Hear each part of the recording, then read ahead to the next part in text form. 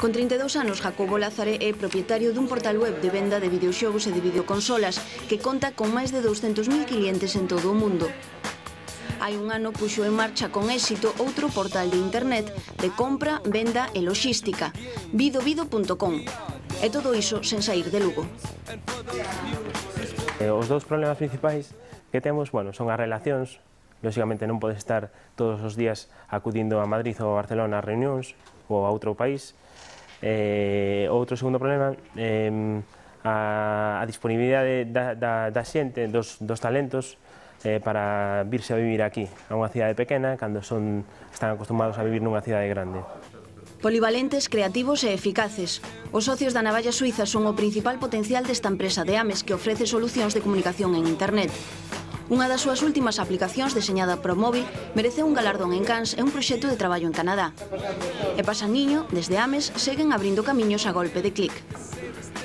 Galicia non, non podemos evitar que está, non podemos evitar pensar que está un poquinho na periferia de Europa, eh, pero eso para o que nos afecta ao noso traballo, ao traballo na rede, é bastante pouco. Aquí as conexións a internet son igual de rápidas que en outro lado, eh, podemos conectarnos a onde, a onde queiramos e podemos comunicarnos por vía electrónica con quen queiramos.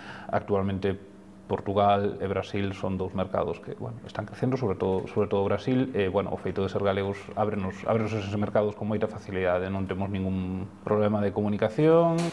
En Neoquer SL comparten coa Navalla e con Vido Vido un espírito emprendedor e innovador. Co apadriñamento da Universidade de Santiago, Carme e Víctor buscan clientes para un novo material cerámico de altas prestacións. Apuntan cara a Rusia, cara a Francia ou cara aos Estados Unidos, pero é difícil furar neses mercados.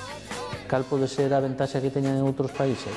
Pois que a fabricación Eh, ah, non, a instalación da nave e a fabricación seguro que lles vai a costar menos.